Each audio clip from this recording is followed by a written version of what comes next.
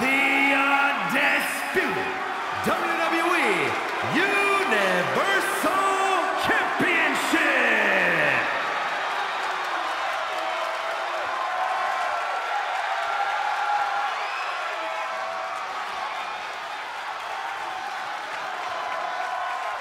Here comes the prize fighter.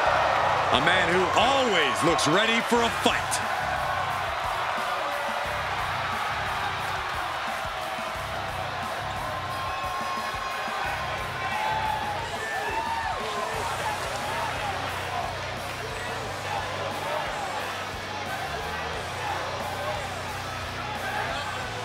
Owens has actually lightened up a bit. Has formed a few friendships in WWE. Yeah, but you have to believe those are temporary at best because fighting is all KO knows how to do.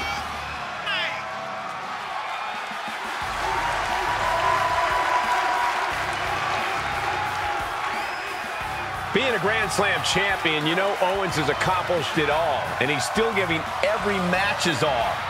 Well, it's just the kind of guy KO is. It doesn't matter what he's accomplished in the past. It's all about his future.